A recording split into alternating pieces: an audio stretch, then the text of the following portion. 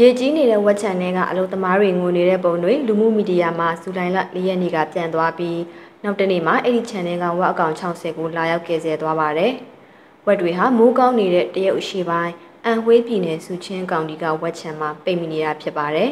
။ဆောက်ရှောက်မှုအပိုင်းနဲ့ကူးစက်ရောဂါတားဆီးမှုအပိုင်းမှာအားနည်းချက်တွေရှိတဲ့အတွက်ဝက်တွေဟာမရွေ့နိုင်ပါဘူး။ဒါကြောင့်ချန်လုံသမားတွေကဝက်တွေကိုရေထဲမှာထားခဲ့ဖို့ဆုံးဖြတ်ခဲ့ပါတယ်။